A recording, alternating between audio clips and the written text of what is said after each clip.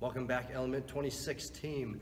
Today I want to tell you about the benefits of your hand grips and what really makes these things so special.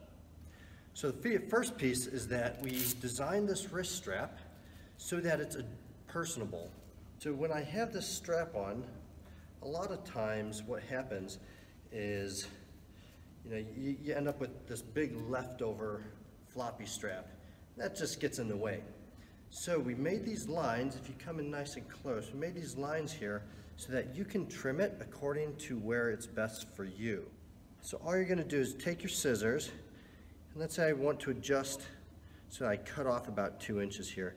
I'm gonna start trimming just above that white line or at the white line, and you, you'll be able to see our stitch that we put in there. Just gonna trim right there. And now your strap is not too big. And I don't have that excess hanging over my wrist now. It's trimmed exactly to where it best fits my wrist. One of the other unique features that we built into our hand grips was the retaining strap. So what I hated was having to finish pull-ups, go into double unders and have a floppy hand grip when I turn around.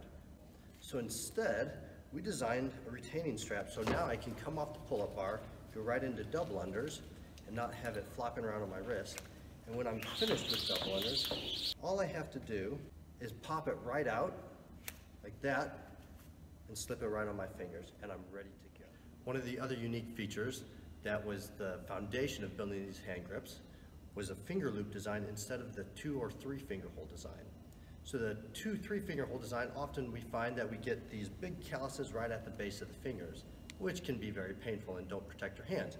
But with the finger loop, now I am completely covered at the base of the fingers and the palms, and look how easy that is to slip on and off.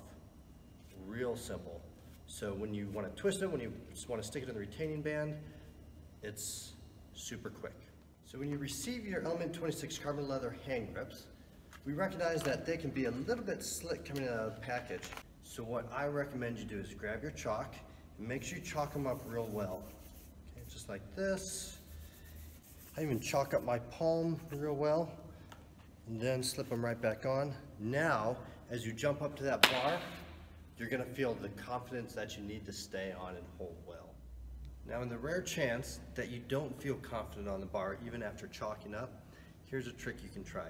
With your grips on, find a bar with some good knurling. All you're gonna do is go forward, forward and back. Don't go side to side. We're just gonna rough up that leather a little bit and you shouldn't need much of this. And that's just gonna break in that material a little bit more so that chalk sticks even more. Then I'm gonna chalk it one more time. Get right back up on that bar and see what happens. And there you have it, Element 26 team.